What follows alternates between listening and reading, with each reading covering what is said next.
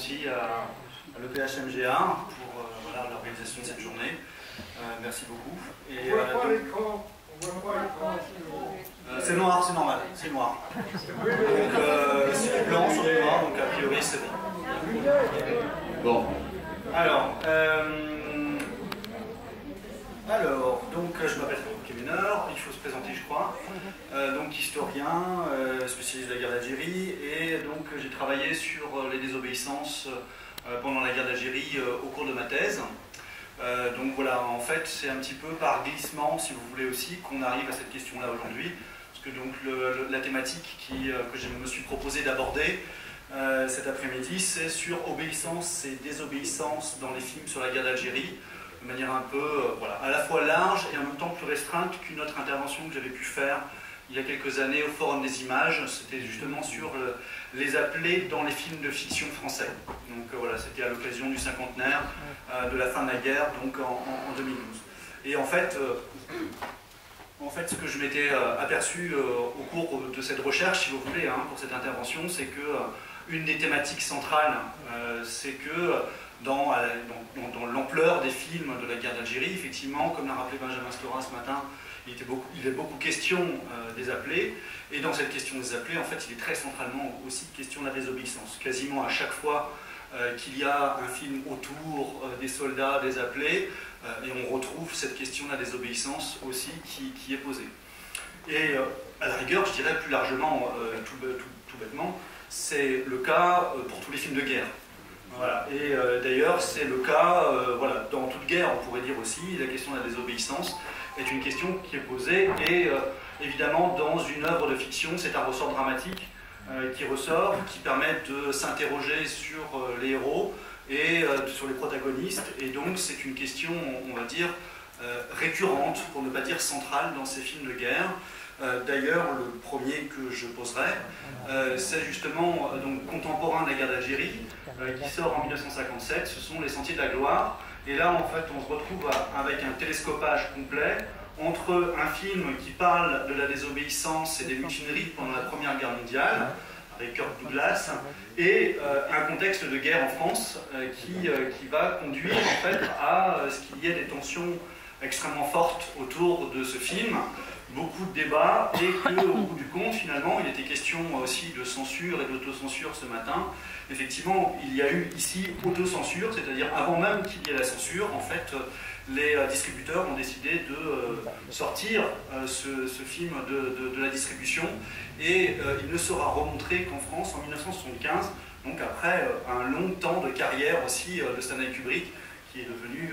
voilà, à ce moment-là, un, très grand réalisateur. Donc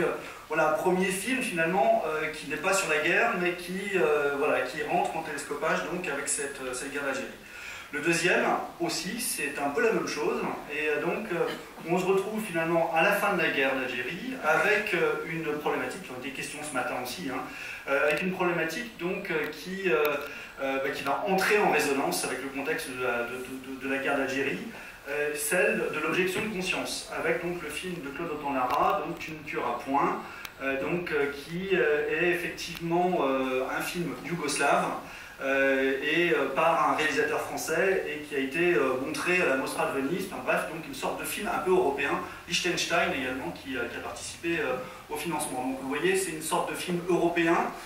qui évite quelque part aussi la France, parce que aborder cette question de l'objection de conscience en pleine guerre d'Algérie, évidemment, là c'est entrer dans des considérations qui sont à ce moment-là, d'ailleurs, très tendu, parce que 1961, euh, euh, voilà, c'est l'année aussi euh, du, manifeste, voilà, du putsch, etc. L'année suivant le, manifeste, et, donc l'année du putsch, de l'OAS, etc.. Alors ce film-là, en fait, entre en résonance beaucoup plus directe aussi, encore plus directe, je dirais-je, avec la guerre d'Algérie. Alors, puisque, alors, il, la question, c'est un, vrai fait qui s'est déroulé à la fin, au sortir de la Seconde Guerre mondiale. Donc en fait, c'est un objecteur de conscience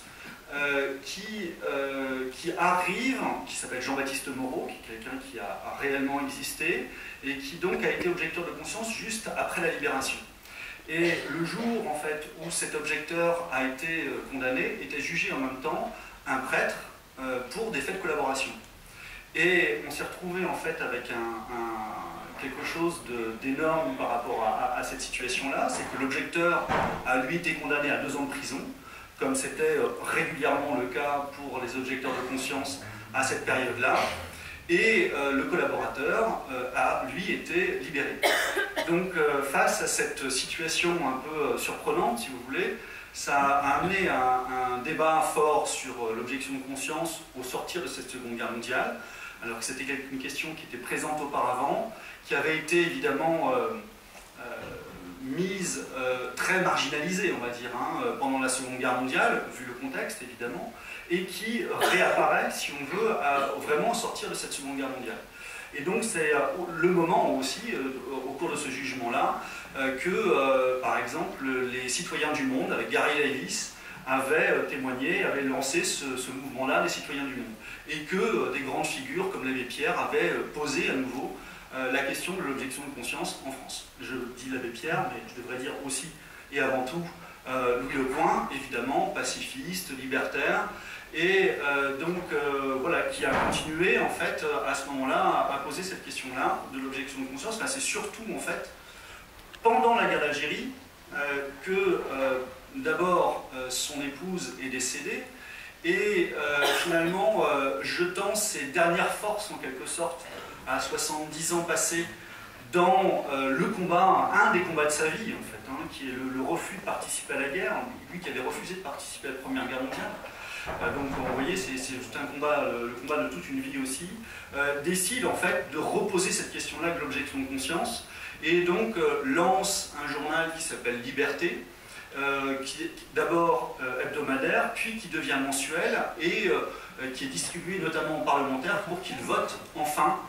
cette loi sur l'objection de conscience. Et il faut savoir qu'à ce moment-là, euh, les objecteurs de conscience, comme, je vous l'ai dit tout à l'heure, sont condamnés à deux ans de prison, mais dès qu'ils sortent, ils sont recondamnés à nouveau s'ils continuent à refuser. Et c'est ce qui fait qu'en 1958, donc, il y a un, objecteur de conscience qui a passé plus de huit années en prison. Euh, donc euh, voilà, et ça devient en fait